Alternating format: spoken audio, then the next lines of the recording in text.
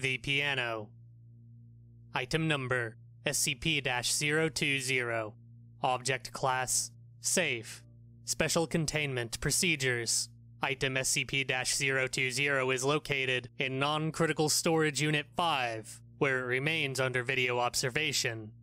Personnel entering the room are advised not to touch SCP 020 or any apparition seen playing it. Description SCP 020 was discovered in the abandoned town of Promyshlenyi, Russia. SCP 020's appearance is always that of a stringed keyboard instrument, but every aspect of it besides that changes constantly. Its most frequent embodiment is a black grand piano, which it assumes approximately 30% of the time. Its variations seem unlimited in time period or decoration, and it has been observed as a spinet, an upright, a player piano, a clavichord, a harpsichord, a virginal, and many others.